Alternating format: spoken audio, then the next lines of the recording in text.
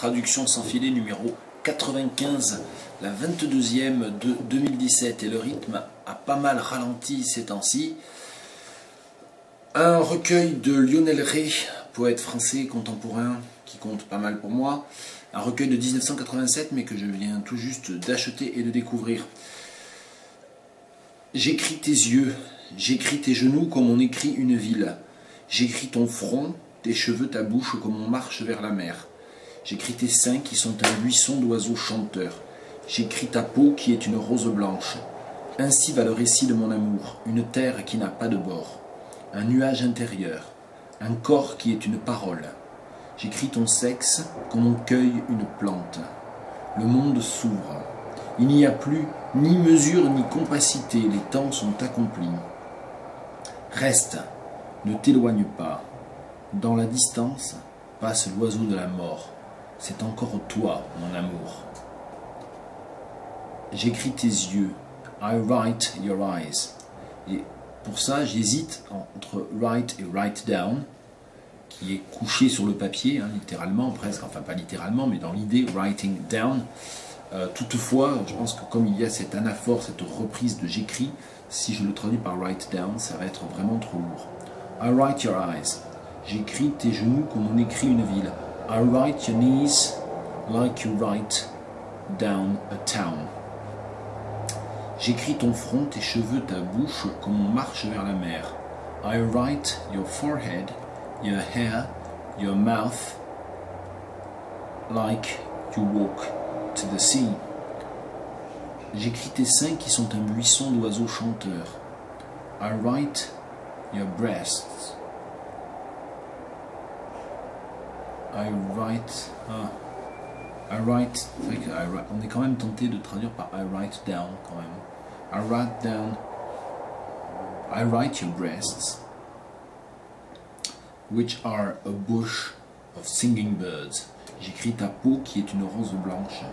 I write your skin, which is a white rose. Ainsi va le récit de mon amour.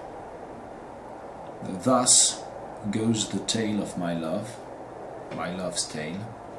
This is the way my love tale goes. Trois possibilités ici. Une terre qui n'a pas de bord. Alors, une terre qui n'a pas de bord.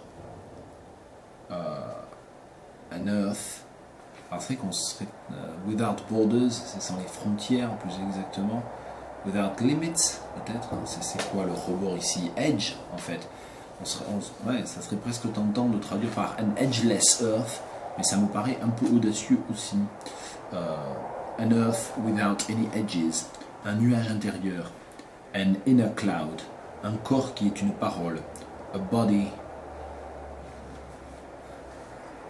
C'est vrai qu'il n'y a pas vraiment de terme en anglais pour une parole. C'est vrai que les paroles et les mots euh, se disent words, les deux en fait. Et donc une parole, souvent on va aller vers speaking, vers voice, voire vers language en fait. Uh, a body which is a voice, which is a language. J'écris ton sexe comme on cueille une plante. I write your sex like you pluck, like you would pluck peut-être même, like you would pluck a plant. C'est pas mal, on a une, une allitération en plat du coup qui récupère un peu de, de poéticité ici. Le monde s'ouvre, the world opens up. Il n'y a plus ni mesure ni compacité. Alors j'avoue ne pas savoir comment on dit compacité en anglais. Je serais tenté de risquer compactness, uh, closeness peut-être, intricateness. There is no measure or compactness, donc avec sous réserve, vraiment sous réserve celle-là. Les temps sont accomplis. The times have come to an end.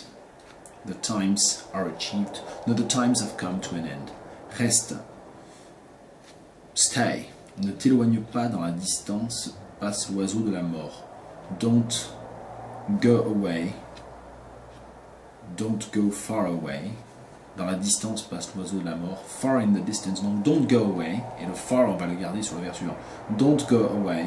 Far in the distance. The bird of death is flying past. C'est encore toi, mon amour. And it's you again, my love. voici pour ce petit extrait, ce poème, extrait du nom perdu de Lionel Ray.